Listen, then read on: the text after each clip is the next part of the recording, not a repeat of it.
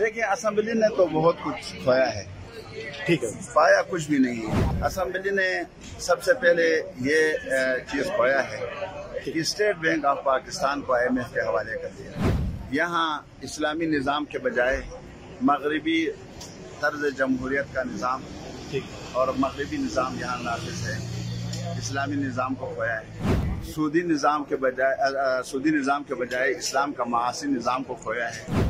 आवाम की नुमाइंदगी के बजाय, आवाम की नुमाइंदगी करने के बजाय आवाम को खोया है, पूरे आवाम को। और यही वजह है कि वो आवाम के सामने जाने के लिए तैयार नहीं है। मुतासर तो ये है ना कि देखिए आसम मैंने यूँ कहा ना, कई अफराद हैं जो मुझे पसंदीदा हैं कौमी असम्बली में। मजमू तौर पर अगर मैंने देखा तो जावेद अब्बासी साहब को मैं दो चीज़ें करना चाहता था। एक तो ये है कि इस मुल्क में सूद के बजाय इस्लाम का माशी निज़ाम नाफिज को, जिनके लिए मैंने हर तकरीर में जब भी मुझे मौका मिला, मैंने उसके लिए बात की।